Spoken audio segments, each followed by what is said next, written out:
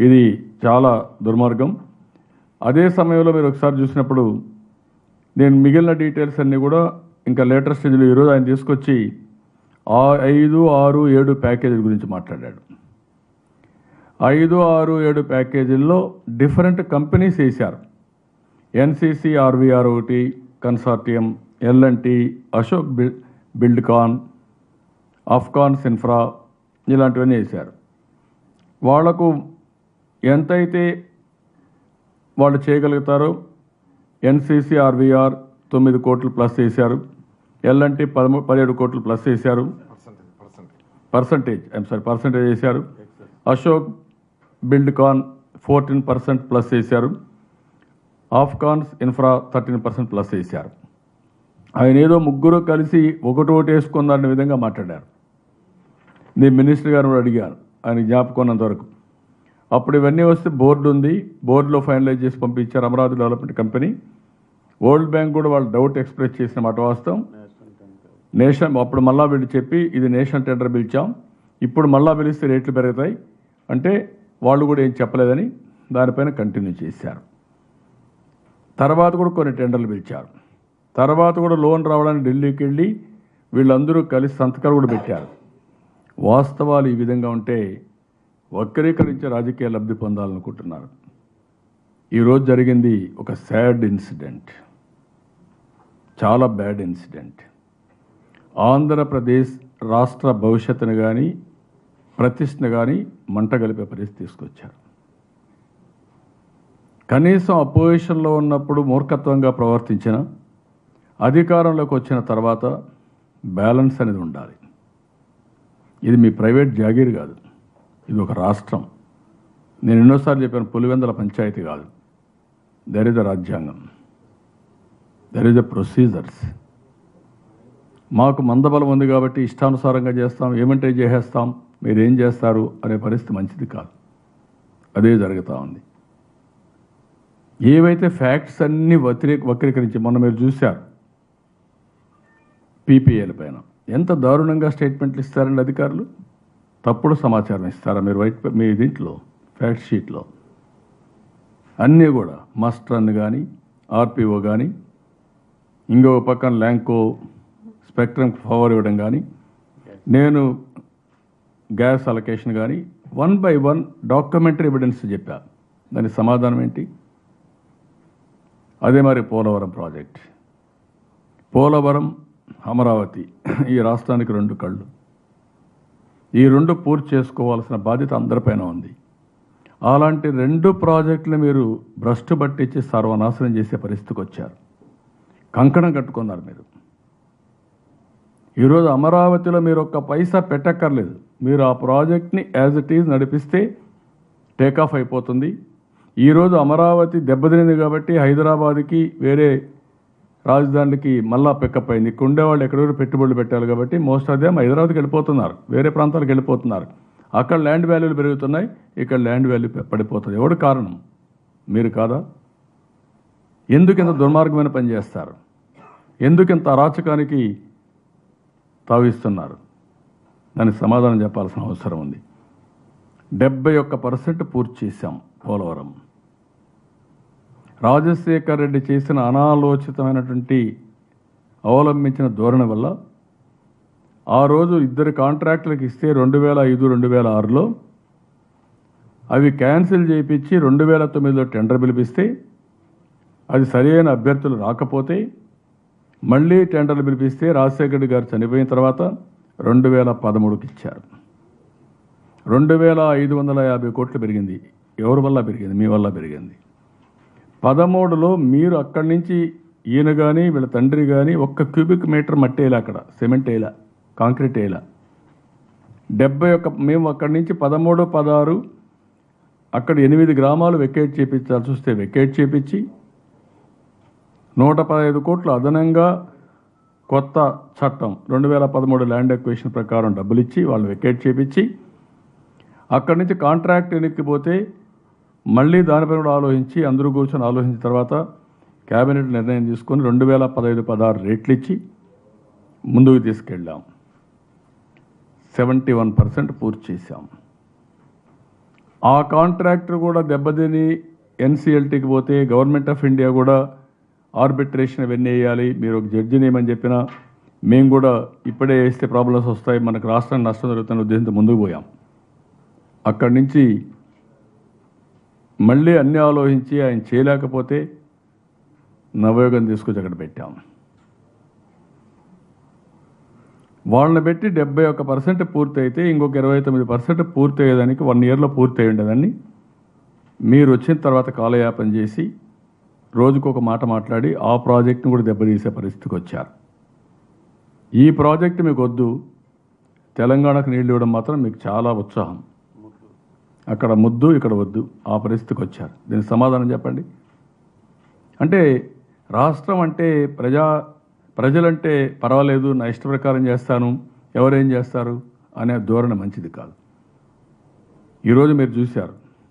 నేను మాట్లాడుతూ ఉంటే నన్ను మాట్లాడనేకుండా చేస్తూ రాజేంద్ర రెడ్డికి మైక్ ఇచ్చి అక్కడి నుంచి మా వాళ్ళు ఫైట్ చేసి ఫైట్ చేసి అందరం ఫైట్ చేసి ఇవ్వకుండా ఆ సమయంలోనే ఈ బిల్లుని తీసుకొచ్చి మేము బిల్లులకు వ్యతిరేకమని ముద్రేసి ముఖ్యమంత్రి మాట్లాడి పారిపోతారా మీరు?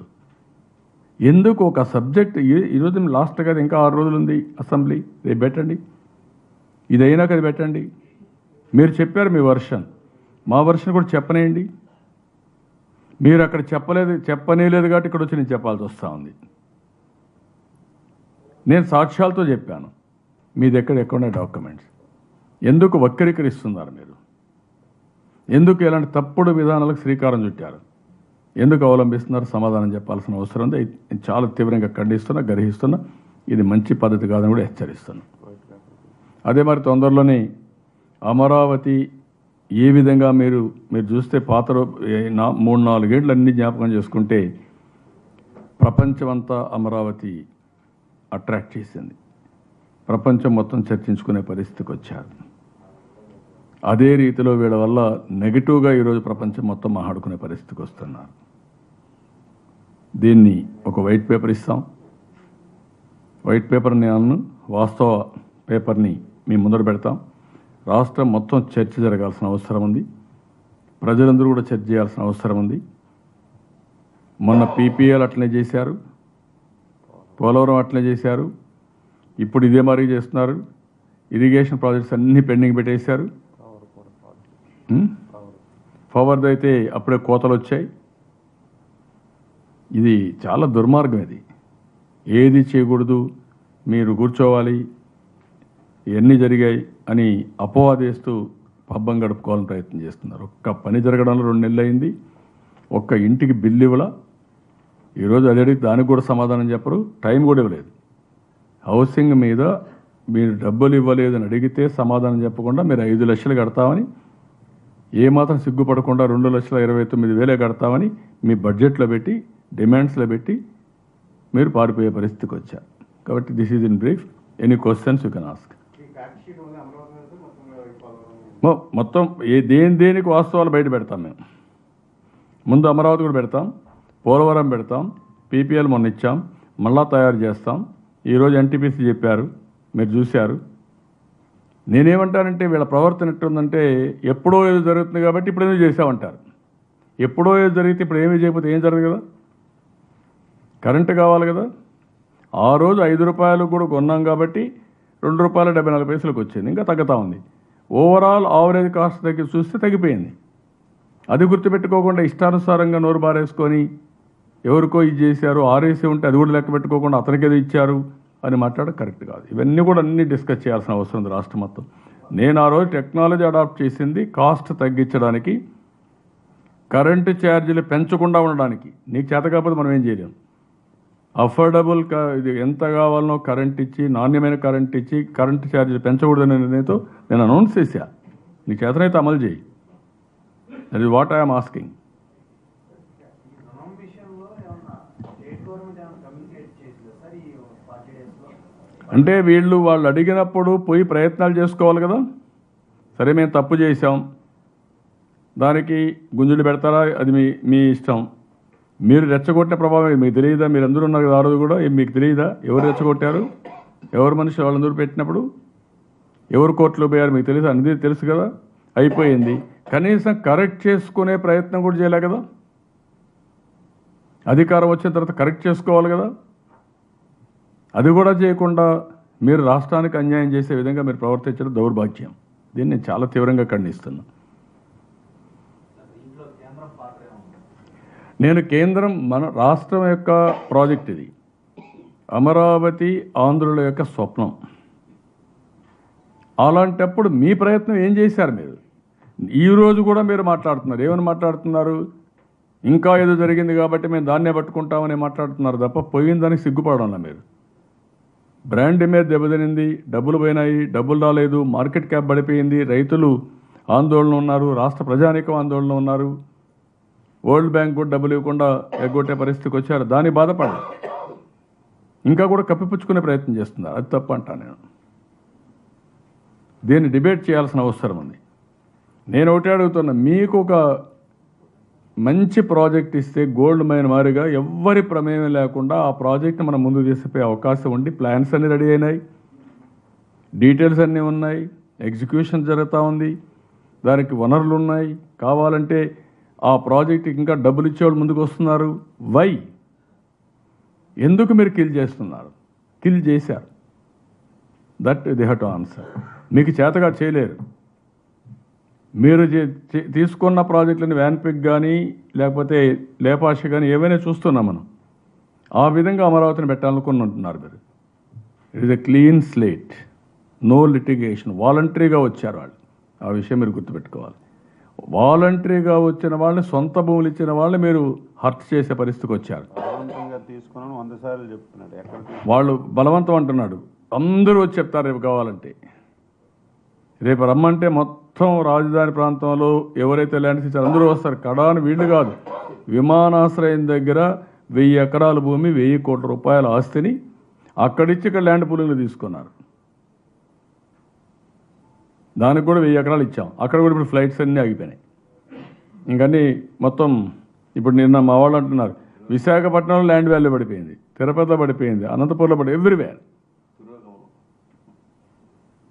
ఇప్పుడు ఈ ఒక ఆయన ఇప్పుడు వస్తే విశాఖపట్నం నుంచి రావాలంటే అమరావతికి హైదరాబాద్వి అమరావతికి వస్తున్నారు.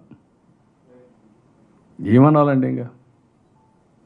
దీనికి ఎట్లా ఏ విధంగా మనం సమాధానించుకోవాలి ఏ విధంగా చెప్పాలి? వీళ్ళ అజ్ఞానాన్న వీళ్ళ తెలివితేటల అతి తెలివే అహంభావమా? They have to answer all these things ఒక వ్యక్తి చేతగానితనంతో ఈ రాష్ట్రాన్ని మొత్తం భ్రష్టు పట్టించి సర్వనాశనం చేస్తూ ఉంటే as a senior politician as opposition leader I have to defend I have to fight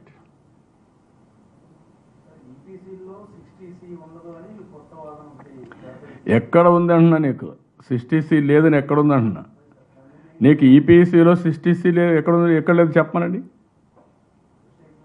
అదేమా నువ్వు అడ్డదుడ్డంగా మాట్లాడుతున్నావు కదా అదే కదా వచ్చింది. ఈ ప్రాజెక్ట్ పూర్తి కావాలి కదా. గోదావరి కలుపుతారు ప్రాజెక్ట్ చేసిపోయి నాకు అర్థం కాలేదు. సిన్సియారిటీ ఉంటే మీరు కూడా ఇప్పుడు దాన్ని అట్నే కంటిన్యూ చేస్తుంటే అయిపోయేది. నీకు సిన్సియారిటీ లేకుండా ప్రాజెక్ట్ నాశనం చేయాలంటే కంకణం కట్టుకున్నారు మీరు. ఆ రోజు మీకు తెలియదా ఎవ్రీ వీక్ ఎట్లా ప్రయత్నం చేసామని సెంట్రల్ మినిస్టర్ ఎట్లా అడుక్కున్నాం తెలియదా? సెంట్రల్ సెక్రటరీ మనకు అడ్డం పెడితే కూడా మళ్ళీ దాన్ని ఎట్లా పోయో తెలియదా? థర్టీ డేస్ టెండర్ పిలిచిన తర్వాత కూడా వాళ్ళు ఒప్పుకోకపోతే మళ్ళీ వన్ వీక్ టెన్ డేస్ ఉండమంటూ ఉండి అప్పుడు కూడా వాళ్ళు సజెషన్ ఇస్తే కాదు సిస్టీసీ ఉపయోగించండి ఇదే రేటుకి వస్తే మాత్రం ఇవ్వండి. లేకపోతే మేము ఒప్పుకోమంటే అప్పుడు ఇచ్చాం మనం.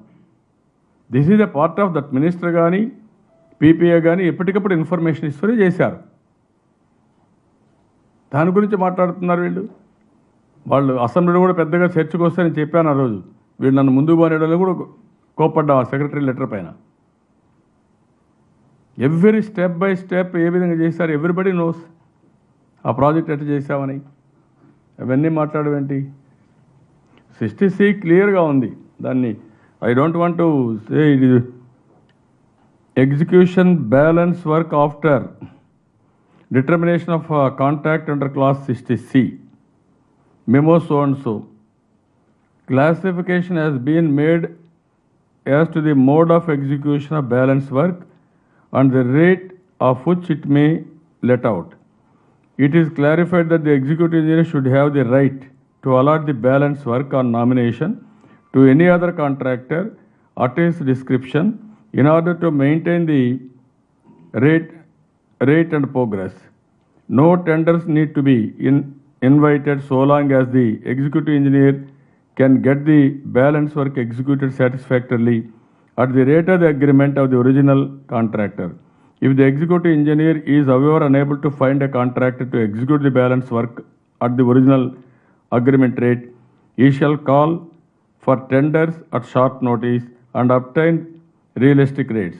If the work so covered out and completed by the other contractor or the contractors involved involves any extra cost, the difference shall be rece- received from the original contractor under clause 60C aforesaid provided however that such recovery shall not exceed 5% of the total finished contract amount.